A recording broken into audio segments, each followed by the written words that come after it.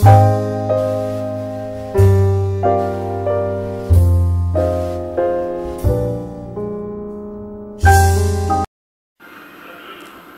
पालन का झारखंड की ग्रामीण अर्थव्यवस्था में विशेष महत्व है। यहाँ के गाँव में रहने वाले 30 से 40 प्रतिशत लोग बकरी पालते हैं।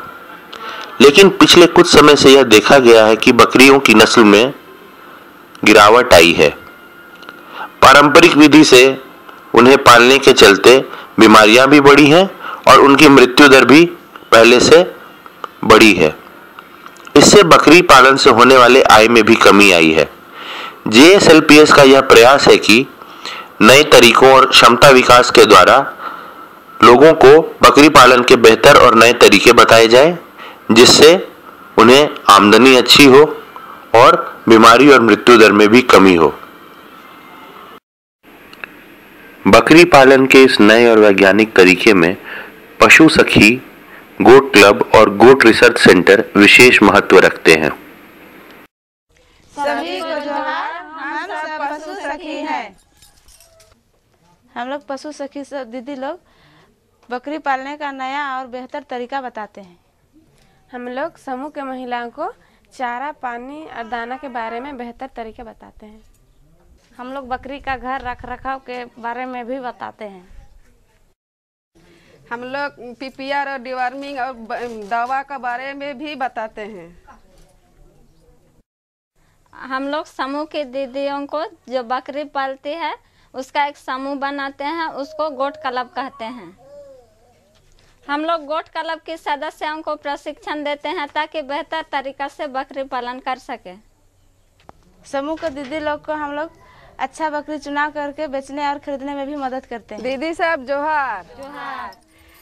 दीदी हम बकरी के बारे में बताने आए हैं। जब हम जो पुरखा से बकरी सब पाल रहे हैं कैसे पालते हैं? परंपरा है ना पालने का तो बकरी। तो हाँ। हम लोग जब पालते हैं तो बकरी का ध्यान तो नहीं देते हैं कैसे? नहीं देता। कैसे का करना है खिलाना है कैसे उसमें हम लोग ध्यान नहीं देते हैं और क्या बोलेंगे बकरी भी हम लोग का ध्यान नहीं देने के कारण में साल में कितना बार बीमारी हो रहा है। है दीदी। तो दीदी नया तरीका बताएँगे उसको अपनाने चाहेगा का? हाँ दीदी चाहते हैं बताइए बता हम लोग को ज़्यादा फ़ायदा मिले। हाँ दीदी हम लोग करना चाहते हैं लेकिन इसका क्या क्या नया नया तरीका है वो सब बताइए। दीदी आप लोग नया तरीका से बकरी पालिएगा ना तो मुनाफा ज़्यादा होगा मृत्यु दर कम होगा और बीमार कम होगा। ठीक है दीदी आप लोग नया तरीका बताइए हम लोग तो जानना चाहते हैं और आप लोग जो बताइएगा वही नया तरीका से हम लोग पालेंगे। दीदी लोग ये देख रहे हैं ना हरा चरा है हाँ? आप लोग जब भी हरा चरा खिलाइएगा तो इसी तरह का टांग के खिलाइएगा और ज़मीन के नीचे सटना नहीं चाहिए हाँ? और इसमें दो फ़ायदा है। एक तो पत्ता गंदा नहीं होगा और शरीर बकरी का पेट में गंदगी नहीं जाएगी। और दूसरा फ़ायदा है कि बकरी उछल के खाएगा तो उसका विकास अच्छा होगा।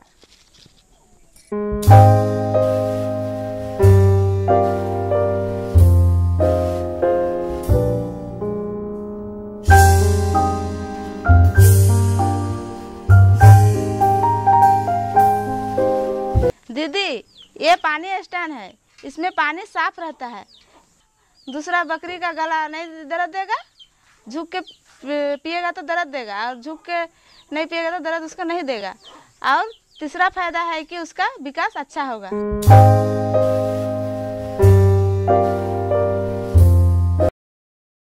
दीदी, ये चरही है, इसमें हम दाना डाल रहे हैं।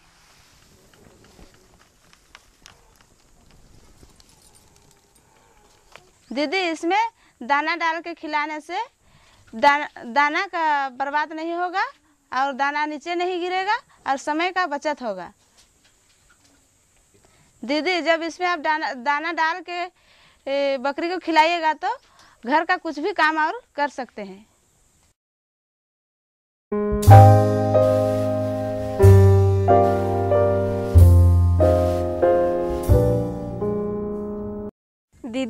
आप लोग तो ये देख लिए ना, खाने खाने और पीने का कैसे ये रखना चाहिए? ये है रहने का।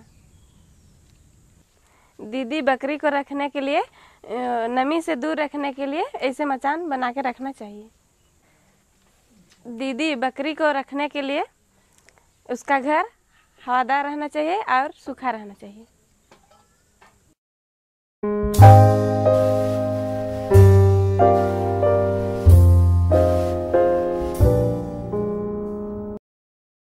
दीदी, आप जो जो बताए, वो सब तो हम लोग सुने अच्छा लगा सुन के।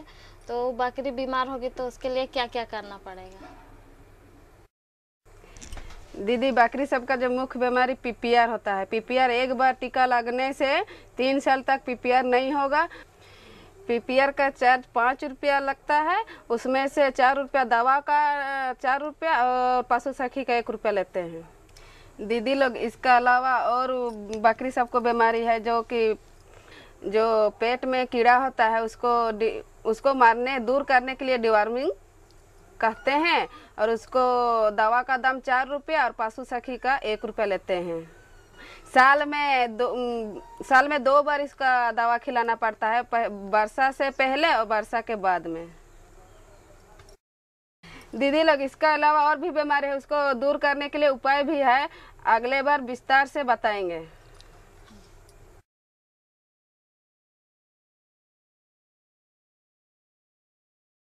जीआरसी का मतलब goat research centre.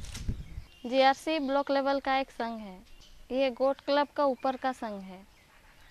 गोट क्लब का सारे सदस्यों का प्रशिक्षण और टीम लीडर का प्रशिक्षण जीआरसी में होता है। पशु सखी का प्रशिक्षण भी जीआरसी में होता है। मनहरपुर में दस गाँव का बीस महिलाओं का एक संघ बनाए हैं जीआरसी बनाए हैं। वो जीआरसी का नाम है लक्ष्मी बकरी पालक संघ। जीआरसी में बकरी का खरीद बिक्री होगा। चारा दाना तैयार किया जाएगा और यहीं से बिक्री होगा। गोट क्लब की महिलाएँ चारा दाना तैयार करेंगी। बकरी से संबंधित बीमारी का इलाज यहाँ होगा और यहीं से दवाई दिया जाएगा। जीआरसी में नस्ल सुधार और मेमना नर्सरी का भी सुविधा है। बकरी बीमा और बकरा उद्यमी की सुविधा भी जीआरसी में उपलब्ध है। इसके अलावा भी बकरी बकरी से संबंधित सारी जानकारी यहीं से मिलेगी।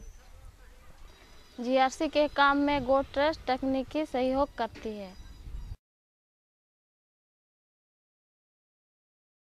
सभी दीदियों को जोहार। मेरा नाम देवकी महतो। समूह का नाम है चांदनी स्वयं सहायता समूह। गाँव गोपीपुर। जब से पशु सखी आई है, तब बताई कि नया तरीका और हम लोग को तरीका को अपनाएँ और मृत्यु दर कम हुई और जो बीमारी है, वो हटने लगी और उससे अभी ज़्यादा विकास हो रहा है।